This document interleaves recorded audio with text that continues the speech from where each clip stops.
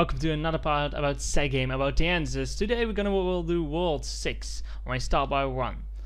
So um the answers on this world um I'm going just going to do the answers on the world and I'll be silent for the rest of the video.